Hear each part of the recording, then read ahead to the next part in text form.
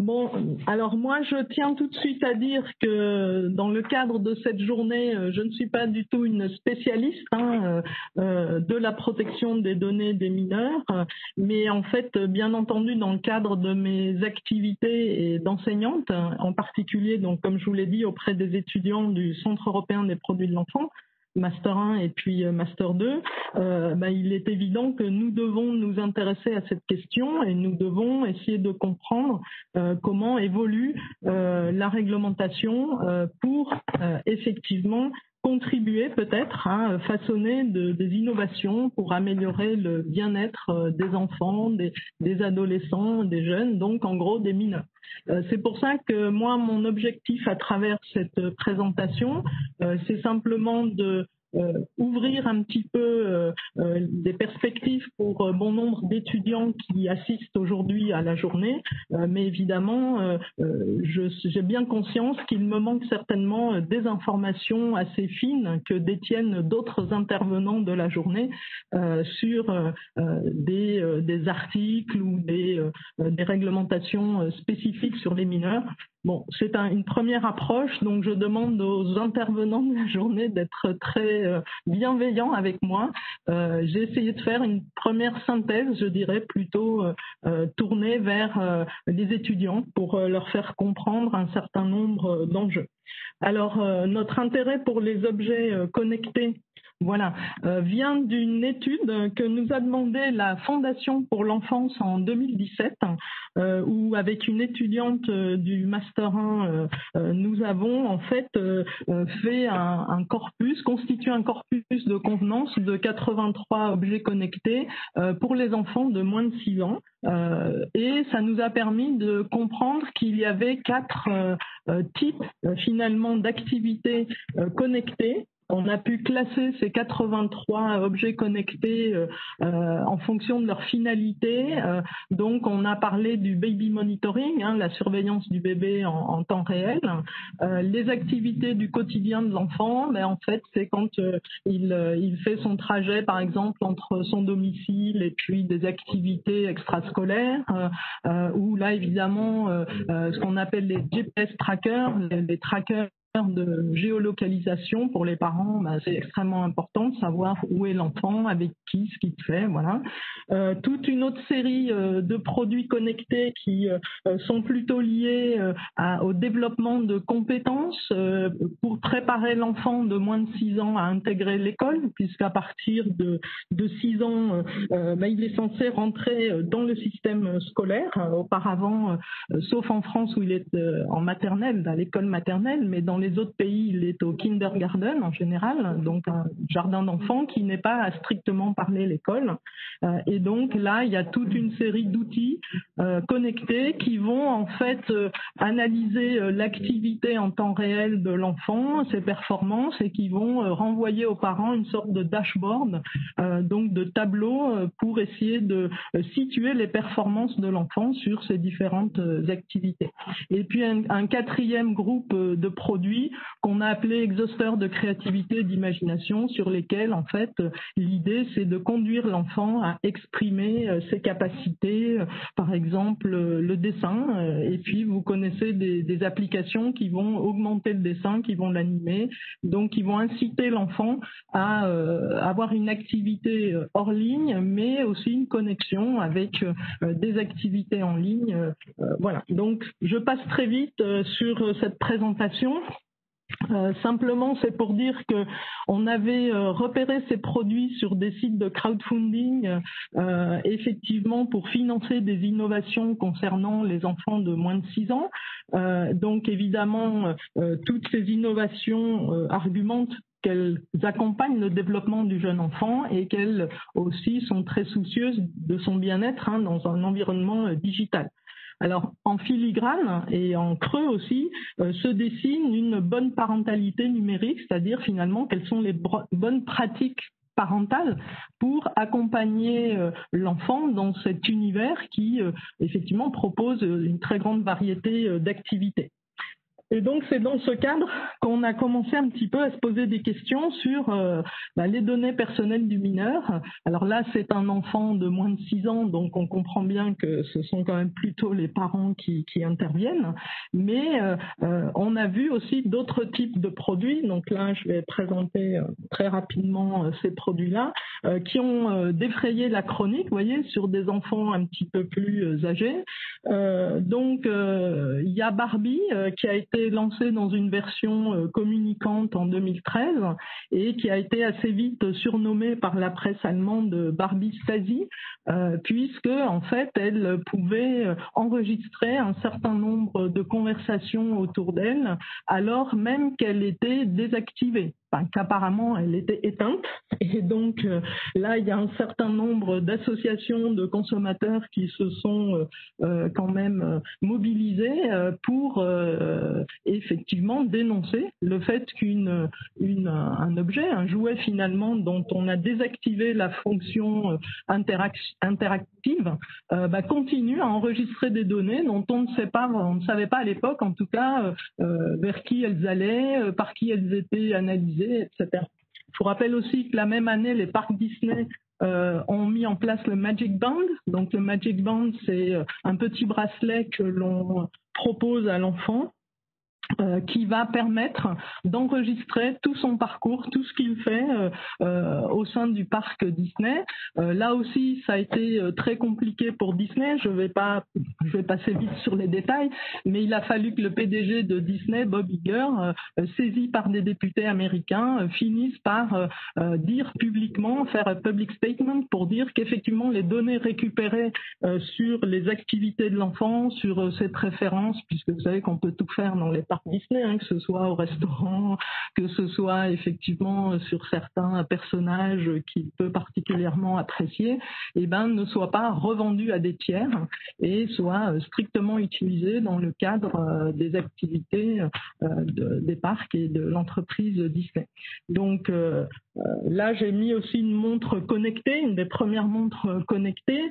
vous savez qu'en 2017, l'Allemagne a aussi finalement interdit ce type d'appareil pour plusieurs raisons, pour des raisons de sécurité, effectivement, euh, d'accès aux données finalement euh, collectées euh, sur, sur les activités de l'enfant, mais pas uniquement ça, sur un autre principe très intéressant qui est que finalement ce type de montre permet aux parents d'être constamment et, en permanence, je dirais, sur le dos de l'enfant, savoir exactement tout ce qu'il fait, et que cette ingérence parentale, finalement, euh, euh, contrevient quelque part à euh, l'autonomisation, à la capacité d'agir de l'enfant dans le monde numérique et à donc un, de ses droits premiers qui est le droit à une sorte de à une vie privée. Hein. même quand on est un enfant, on n'a pas de raison d'être constamment sous la surveillance de ses parents.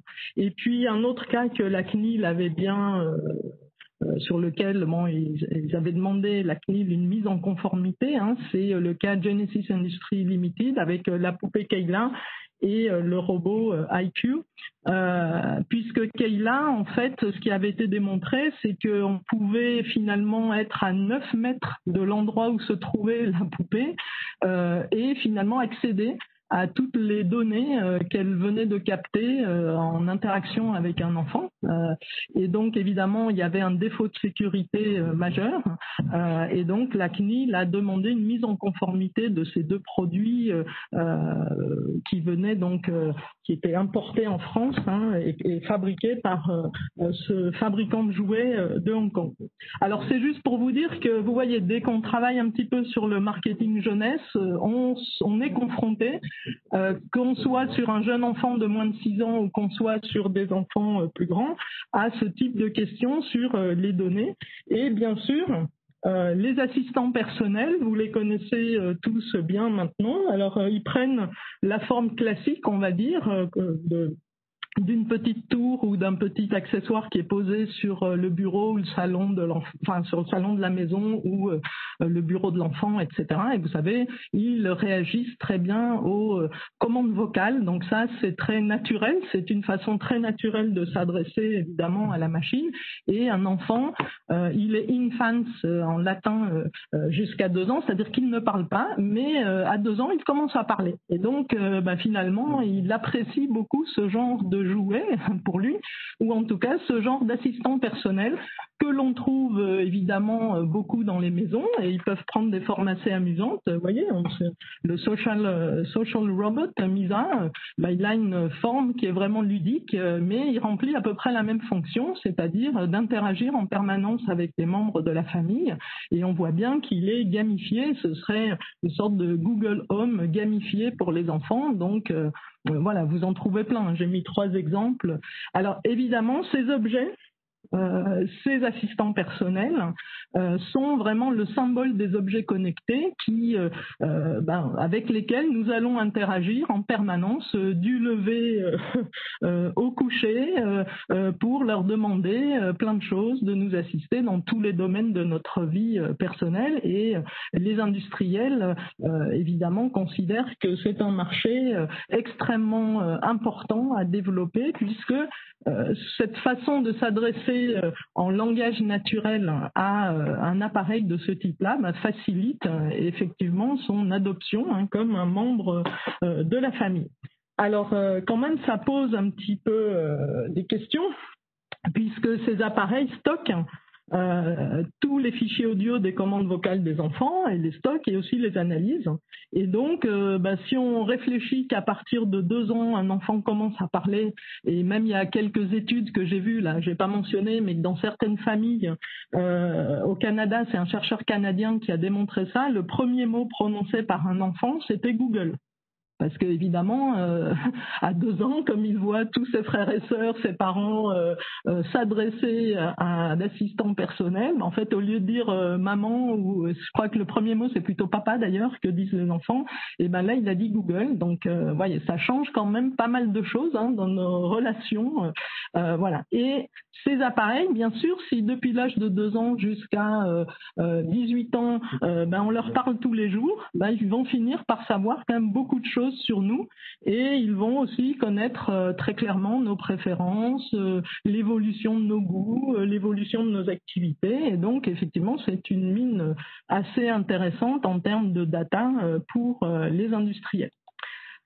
Alors, euh, moi, ces petites réflexions que je peux faire à partir de mon domaine de compétences, hein, qui n'est pas du tout euh, juridique euh, a priori, donc je vais formuler ces innovations finalement, ce qu'elles se transforment dans la vie de l'enfant et puis dans notre compréhension aussi de l'enfant. Ben déjà, c'est que la culture matérielle de l'enfance, c'est-à-dire tous ces objets euh, qui sont assignés à l'enfant euh, parce qu'ils sont conçus pour lui, euh, parce qu'ils ont été développés pour lui, eh ben, tous ces objets vont devenir personnalisés. Ils vont pouvoir vraiment s'adapter très très finement aux caractéristiques de l'enfant, à ses activités, etc. Et donc ça, ça me paraît extrêmement important. Alors des exemples. Euh, ben, par exemple, évidemment, le baby monitoring, euh, ben, c'est une surveillance en temps réel des signes vitaux du bébé qui vont être rapportés là aussi à des normes euh, pré, euh, préétablies pour savoir si les rythmes cardiaques sont à la bonne fréquence, si l'enfant respire bien. Si alors c'est très utile évidemment pour éviter par exemple la mort subite du nourrisson ou des problèmes de peut-être de, de température, etc., de suivi du bébé quand il est peut-être euh, malade. Alors évidemment, il y a des applications euh, qui offrent le don d'ubiquité aux parents, comme la montre connectée, mais vous voyez que là, l'Allemagne est particulièrement euh, réticente à, ce que la vie de l'enfant soit entièrement pilotée ou contrôlée par les parents. Ça doit vous rappeler cet épisode que vous avez peut-être vu de Black Mirror, hein, où une mère euh, très bien intentionnée essaye de protéger sa fille et finit par être complètement euh, intrusive dans sa vie et ne lui laisser aucune liberté. Euh, voilà. Les, jouets connectés et les robots sociaux bah, vont nous accompagner, vont accompagner l'enfant dans toutes ses activités tout au long de la journée, tout au long de l'année. Donc euh, voilà, euh, des applications éducatives ou récréatives vont personnaliser l'expérience de l'enfant. Donc il va prendre de plus en plus de plaisir à utiliser euh, peut-être ces objets-là, où il va être à l'aise avec eux, il va bien les maîtriser. Donc ça va renforcer son attirance, son impétence pour ce type d'objet. Et donc finalement, dans cet univers numérique, eh ben, vous savez, on parle du marketing 360. Donc là, je me suis amusée à dire, ben non, l'enfant, c'est finalement, c'est un producteur de données à 360 euh, qui va être bien utile effectivement au marketing.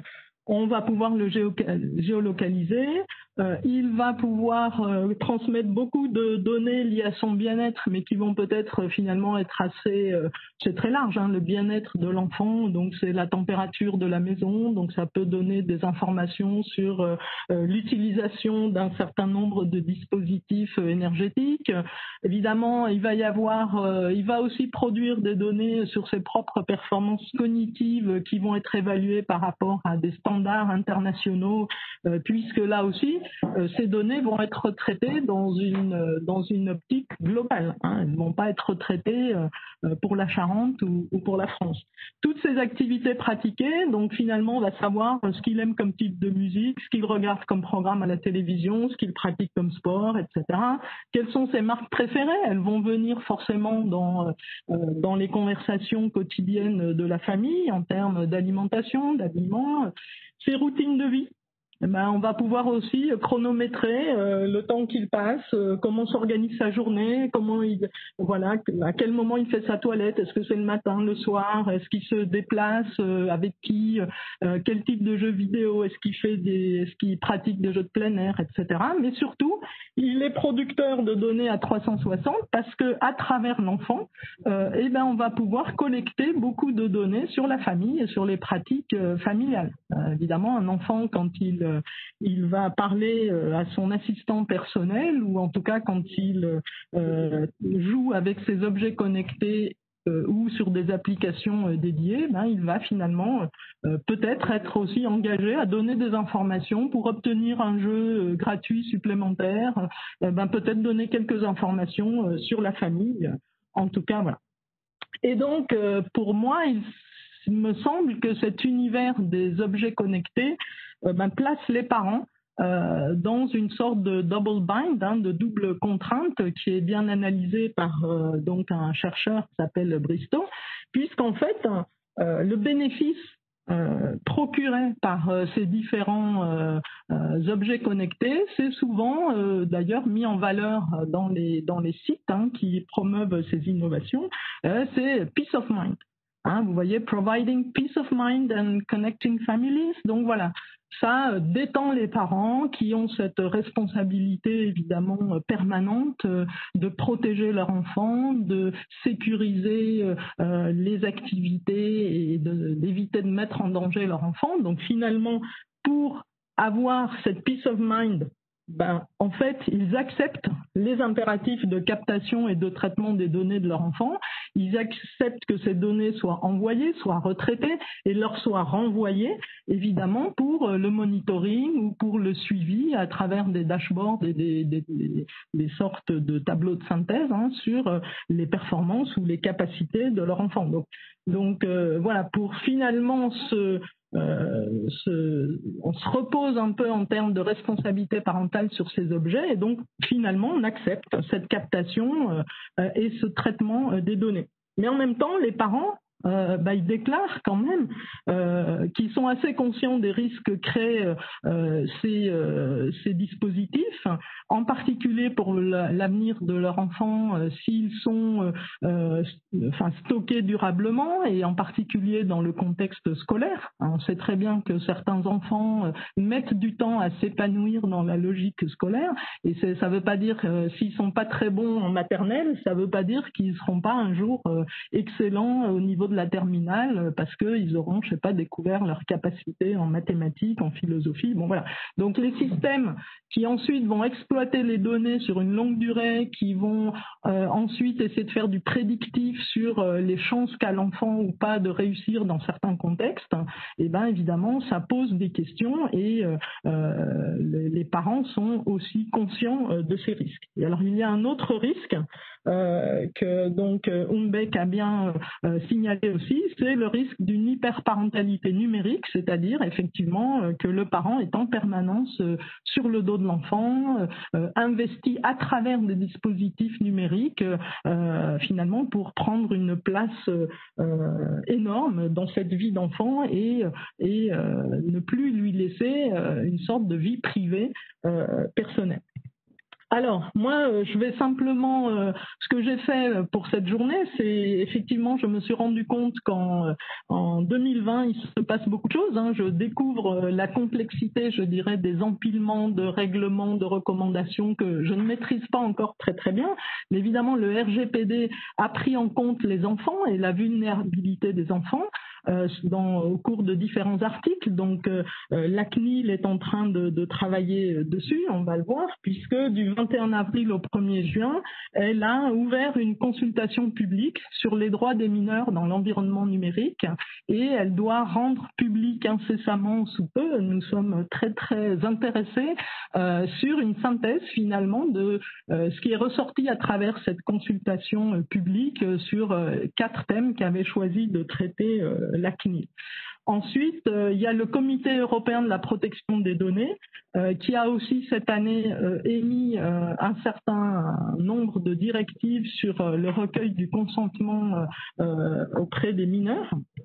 Euh, il y a le comité de rédaction des droits de l'enfant, donc qui est une instance de l'ONU, qui a aussi fait euh, un commentaire, euh, donc, enfin oui, un commentaire sur ce qu'il fallait prendre en compte comme droit de l'enfant dans un environnement numérique.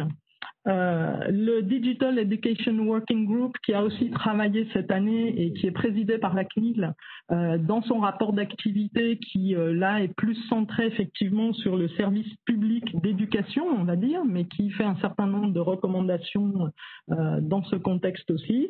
Et la Global Privacy Assembly, qui, il y a très peu de temps, a mis aussi, effectivement, a fait un commentaire hein, sur le projet d'observation générale sur les droits de l'enfant en relation avec l'environnement numérique. Donc j'ai un peu compilé tout ça euh, pour répondre à une question qui est euh, Peut-on aller vers un marketing data responsable euh, par rapport à ce consommateur hybride parent-enfant que nous chérissons ici au CEP Alors, premier point, évidemment, c'est la sécurité des données. Donc on sait bien que c'est une faiblesse structurelle des offres proposées dans le cadre de l'Internet des objets. Euh, les objets sont à câble, sont facilement euh, finalement des failles de sécurité qui peuvent mettre en danger euh, les données des utilisateurs. Euh, le recueil et le traitement des données sont bien des caractéristiques essentielles des objets connectés, donc on ne, peut pas ne pas expliquer finalement les traitements et, euh, qui, vont être, euh, enfin, qui vont être mis en œuvre pour rendre le service promis aux parents, par exemple. Et il y a toujours cet enjeu du partage de la responsabilité entre le fabricant de l'objet, on va dire, le support matériel, et puis le concepteur du logiciel. C'est rarement les mêmes entreprises parce que c'est des métiers totalement euh, différents. Euh, faire du software ou faire effectivement du hardware, c'est pas tout à fait euh, la même chose. et donc la responsabilité entre ces acteurs, n'est pas encore très clairement établie. plusieurs corpus juridiques interviennent, effectivement, droit de la consommation. Donc là-dessus, il y a encore beaucoup de choses à faire. Ensuite, sur vraiment les données personnelles des mineurs, euh, une des grandes constantes que l'on trouve dans les recommandations, c'est qu'effectivement, le mineur euh, peut euh, agir de son propre chef à partir de 15 ans en France, d'accord, qui est l'âge qui a été retenu pour harmoniser avec d'autres corpus juridiques liés effectivement en particulier à la majorité sexuelle, etc. Mais sinon, le RGPD fixe l'âge entre 13 et 16 ans en Europe. Chaque pays peut choisir finalement à quel âge il donne une certaine majorité ou maturité, on va dire, à l'enfant pour pouvoir lui-même s'inscrire et euh, donner son consentement euh, sur un certain nombre de sites. Alors, il n'est pas forcément nécessaire de vérifier l'âge s'il s'agit de mener des actions d'information, d'éducation, de prévention auprès des mineurs, mais les éditeurs et les plateformes euh, sont maintenant tenus de démontrer que tous les efforts techniques et matériels euh, ont été faits euh, pour recueillir effectivement un, consentement conforme au RGPD, c'est-à-dire qui permettent aussi justement d'impliquer les parents si l'enfant a moins de 15 ans. Donc, euh, si l'enfant a moins de 15 ans, bah, il faut un double consentement explicite, le consentement de l'enfant, mais aussi du titulaire de l'autorité parentale. Euh, il faut aussi que ce titulaire de l'autorité parentale bah, reçoive une information complète sur les droits qu'il peut exercer au nom de l'enfant. Euh, voilà, euh, c'est extrêmement important. Et par exemple, les conditions générales euh, d'utilisation qui incluent subrepticement ou d'une façon pas très claire le transfert de données personnelles dans un pays hors de l'Union européenne ben, sont non recevables. voilà, c'est pas parce qu'on a signé les CGU et que ce, prévoyaient ce type de transfert que aujourd'hui c'est recevable. Euh, ensuite, évidemment, l'information, euh, bah, c'est ce que M. Gorin nous a bien montré, hein, ça c'est à peu près la même chose, hein, c'est la nature des données collectées, la finalité du traitement avec aussi euh, ne collecter que les données utiles à la finalité du traitement, mais ne pas en profiter pour collecter plein d'autres données euh, qui ne servent à rien pour le traitement défini pour lequel le consommateur ou le parent a, payé ou a accepté euh, le traitement. Euh, voilà. L'identité du responsable de traitement et puis aussi évidemment d'informer le mineur sur ses droits et aussi sur les modalités d'exercice de ses droits. Parce qu'on va le voir, euh, en fait, quand on s'adresse même au consommateur adulte, euh, bah, il ne connaît pas forcément tous ses droits, il ne connaît pas les, procédures de plainte, de saisine des instances. Euh, voilà. Alors, pour finir, très rapidement, euh, j'ai trouvé dans ces différents documents euh, ben des, euh, des, interrogations et plus que des interrogations, vraiment des, injonctions aussi pour que certaines pratiques soient interdites quand il s'agit de mineurs. Alors déjà l'espionnage parental, ben, vous avez compris que les Allemands là-dessus ils sont sans concession, ça va contre les droits de l'enfant, le droit de l'enfant à avoir une vie privée. Le profilage émotionnel, que ça fait un certain nombre euh, d'industries et de, responsables marketing, alors euh, dans plein de domaines, mais on pourrait, peut-être que Monsieur Coupard va nous en parler après, mais, mais sur le jeu vidéo. La captation de l'attention, là aussi, vous connaissez sûrement les pratiques de farming, où on va, pour pouvoir avoir un petit peu plus de temps de jeu, ben, on va passer beaucoup de temps à, à, faire du farming sur des jeux vidéo. Ben, ça, c'est typiquement une activité qui capte l'attention sur de nombreuses heures.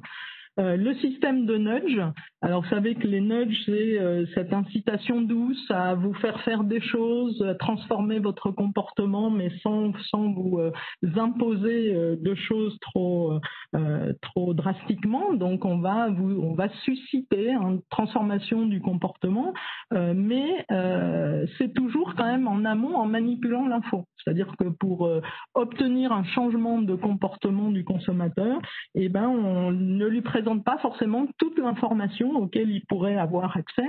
Et donc le système de nudge pose une vraie question vis-à-vis, euh, euh, en tout cas des mineurs et des enfants, euh, parce que c'est un peu anti-éducatif. Ça, ne, conduit pas vers une émancipation de l'enfant et une maîtrise d'un certain nombre de dimensions pour qu'il puisse, en connaissance, prendre sa décision. Des publicités ciblées sur l'enfant. Vous savez qu'il y a des études, là je les ai pas citées, mais qui montrent que beaucoup d'enfants, même à 12-14 ans, ne comprennent pas bien le mécanisme des publicités ciblées liées aux cookies. effectivement qu'ils ont aux traces qu'ils ont laissées pendant leur navigation internet. Et puis tout ce qui est boucle de récompense, euh, c'est-à-dire, ben, c'est toujours cette idée, donnez-nous un petit peu, euh, que l'enfant donne un petit peu plus d'informations supplémentaires, peut-être sur euh, son environnement, sur ce que fait sa famille, pour accéder peut-être à, à, une nouvelle activité, avoir une vidéo supplémentaire. Bon, il y a plein de possibilités.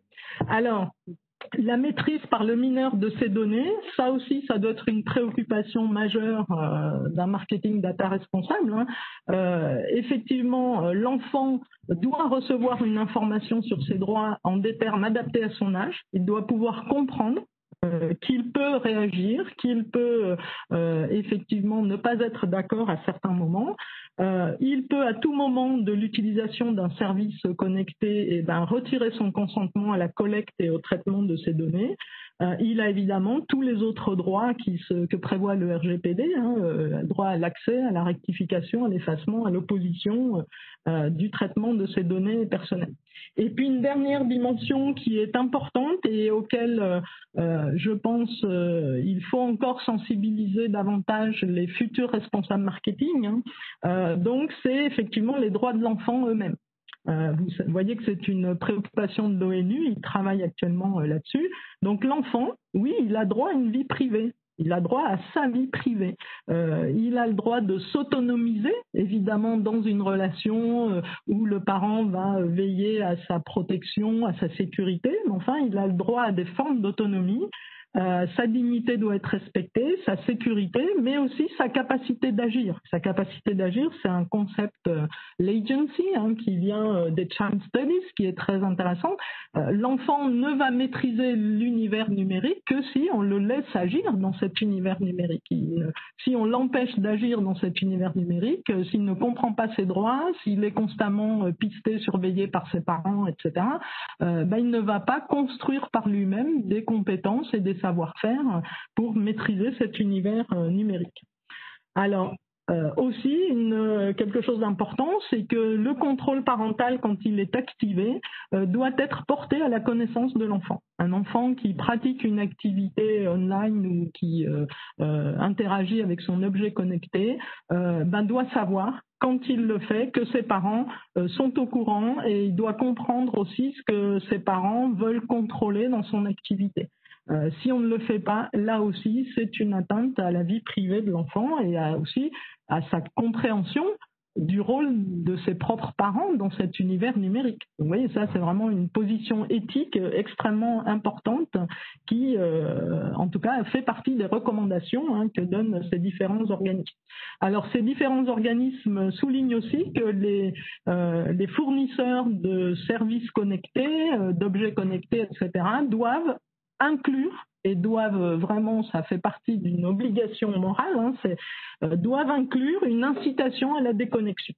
Euh, et c'est aussi, euh, je trouve, un, élément important, euh, puisque l'enfant, entre guillemets, a droit à une vie déconnectée. Il a le droit à aller jouer dans le jardin, à faire sa cabane au fond du jardin, grimper aux arbres, voilà. Donc, je dis n'importe quoi, hein, mais aller voir les animaux aux zoo et pas les voir uniquement sur des sur des vidéos. Enfin voilà. Donc, il faut aussi laisser à l'enfant euh, la possibilité de vivre une vie normale, d'aller euh, faire du sport, de rencontrer les copains, euh, voilà. Donc ça, ça me paraît extrêmement important. Et là, l'idée, c'est que les fournisseurs de services soient eux-mêmes des éducateurs à la déconnexion. Et je trouve cette idée particulièrement intéressante. Alors évidemment, j'en parlais tout à l'heure, les procédures de saisine, on se rend compte que même les consommateurs adultes euh, maîtrisent très mal les procédures de saisine, ils ne savent pas comment euh, saisir la RPP euh, si des publicités leur paraissent inadmissibles ou le CSA, enfin voilà.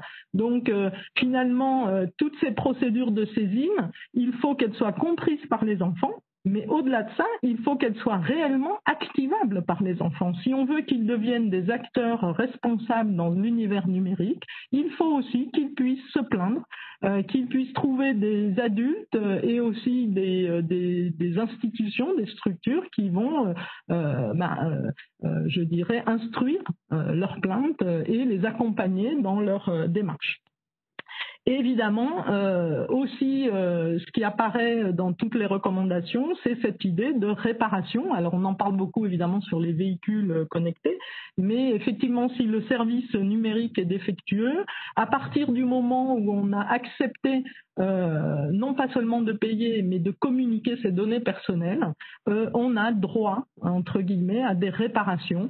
Et euh, évidemment, là, tout est ouvert. Hein. C'est la jurisprudence, je pense aussi, qui va donner des repères par rapport à ça. Mais le principe, en tout cas, est réclamé.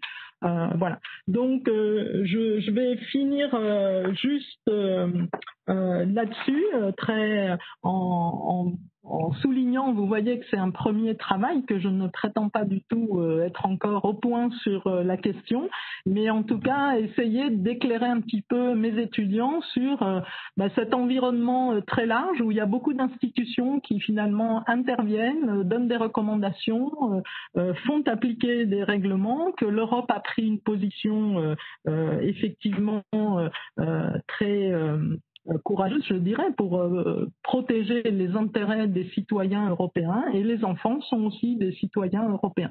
Donc nous attendons avec impatience euh, les résultats de la consultation de la CNIL hein, et puis effectivement ben, nous serions très heureux en tout cas au Centre européen des produits de l'enfant de poursuivre ce débat avec tous les intervenants que nous avons sollicités aujourd'hui. Merci beaucoup.